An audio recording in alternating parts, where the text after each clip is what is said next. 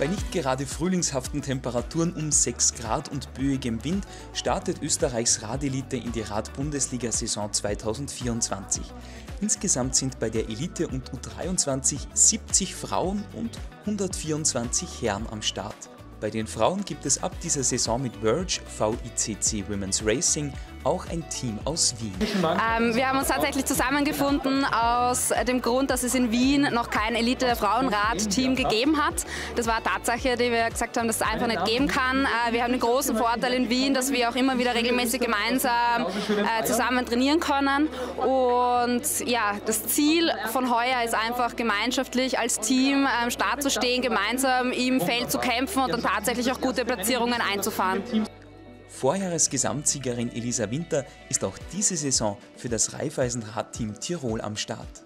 Also ich fühle mich top vorbereitet für heute und der Kurs liegt mir, es ist gutes Wetter, ein hochqualitatives Starterfeld findet man hier vor. Also es sind starke Mädels am Start und ich hoffe, ich kann mich heute behaupten.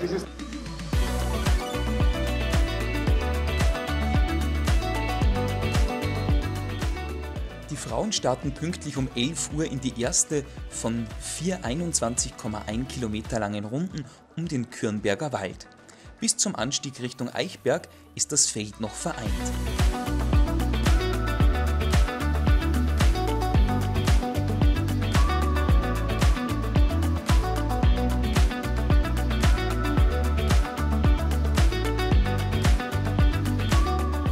Am über zwei Kilometer langen Anstieg nach Eichberg müssen 114 Höhenmeter überwunden werden und hier teilt sich das Feld in mehrere Gruppen. Eine elfköpfige Spitze fährt 13 Sekunden vor einer aus zwölf Athletinnen bestehenden Verfolgergruppe in die zweite Runde.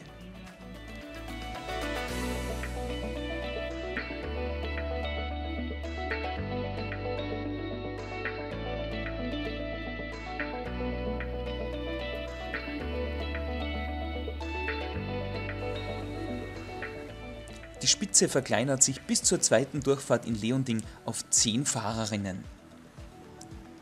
Kurz vor dem Eichberg setzen sich Petra Janko, Corinna Lechner und Patricia Srnska ab.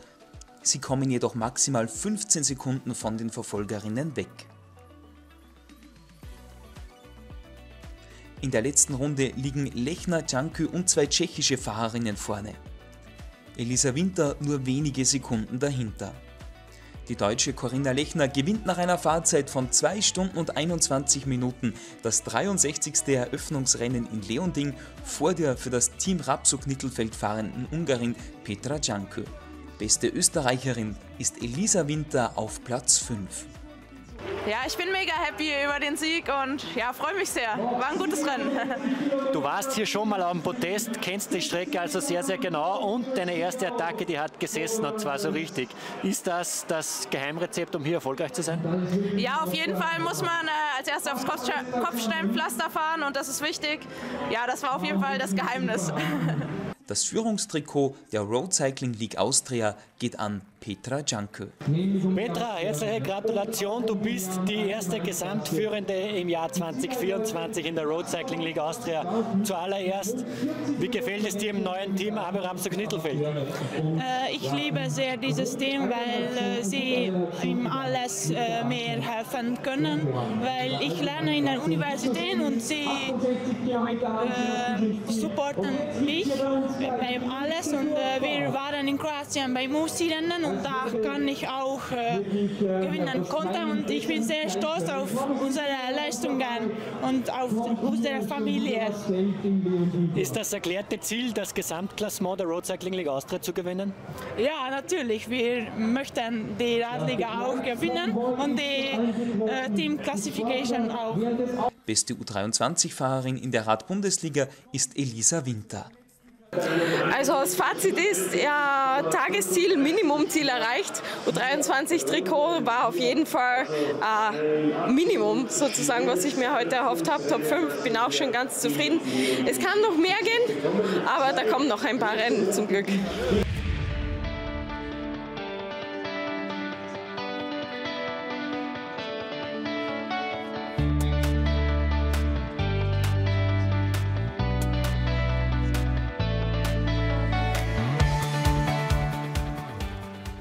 Bei den Herren sind 124 Fahrer am Start.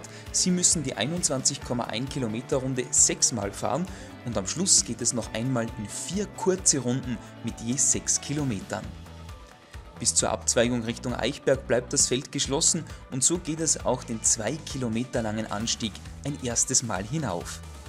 Kurz vor der Bergwertung setzen sich Paul Buschek vom Tirol KTM Cycling Team und Stefan Kova von Khinkov Advarix vom Feld ab und kommen bis zur dritten Runde über eine Minute von ihren Verfolgern weg.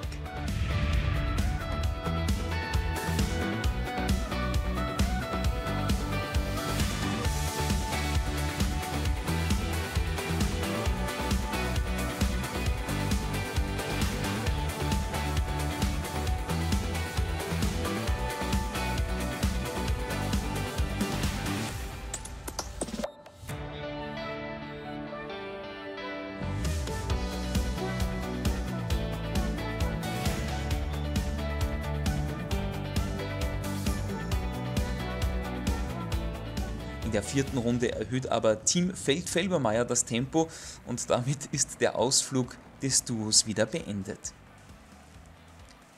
Es beginnt immer wieder kurz zu regnen, was das Rennen nicht unbedingt einfacher macht.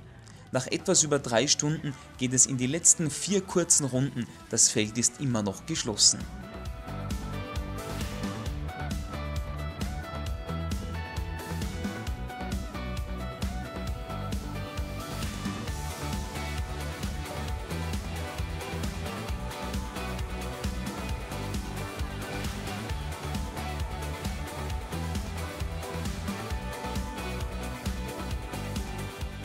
Jetzt zieht sich das Feld in die Länge. Sebastian Putz führt hier eine sechsköpfige Gruppe in die vorletzte Runde. Der Abstand liegt bei 5 Sekunden auf die Verfolger.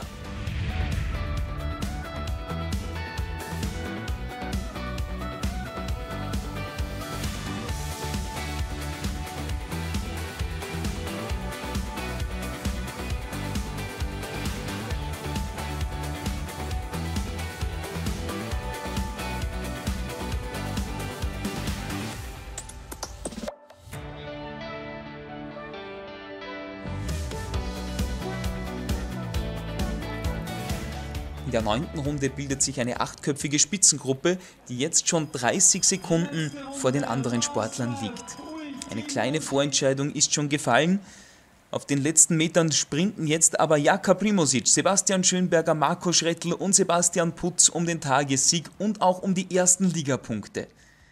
Der Vorjahresgesamtsieger der Radbundesliga Jakob Primosic kann sich hier absetzen und macht das ganz souverän. Er gewinnt nach einer Fahrzeit von 3 Stunden und 40 Minuten knapp vor Sebastian Schönberger und Marco Schrettl. Schrettl belegt nicht nur Platz 3, sondern ist auch bester U23-Fahrer. Jakob Primosic vom Team Khinkov Advarix knüpft somit gleich an die letzte Saison an und übernimmt wieder die Führung in der heimischen Radliga. Vielleicht soll es einfach so sein. Nach über dreieinhalb Stunden Fahrzeit habe ich dieses Rennen gewonnen und jetzt freue ich mich, dass ich das Führungstrikot wieder tragen darf. Für mich bedeutet es jedoch wieder viel Stress, die Führung zu verteidigen. Das Trikot des besten U23-Fahrers darf sich das Tirol KTM Cycling Team überstreifen und zwar Marco Schrettl. Ja, ist jetzt cool, dass eben so aufgegangen ist. Und ja, ist natürlich ein großes Ziel auf dem Team gewesen. Und ja, sind wir froh, dass wir jetzt einmal auf Podest gekommen sind. In der Tabelle der Herren führt somit Jaka Primosic vor Sebastian Schönberger und als bester U23-Fahrer belegt Marco Schrettl Platz 3. Die Teamwertung wird von Tirol KTM Cycling angeführt, gefolgt von Khinkov Advarix und Team Feldfelbermeier. Bei den Frauen führt Petra Janko mit 150 Punkten vor Elisa Winter mit 103 und Nadia Heigl mit 84 Zählern die Tabelle an. In der Teamwertung liegt Abö Rapso Knittelfeld mit 30 Zählern vorne, gefolgt von Union Raiffeisen Radteam Tirol mit 25 Punkten. Das Team Kukina Abö Askö Graz hat 21 und an der vierten Stelle dann Verge VICC Women's Racing. Das nächste Rennen der größten heimischen Radliga findet in Wales mit dem Kirschblütenrennen am 28. April 2024 statt.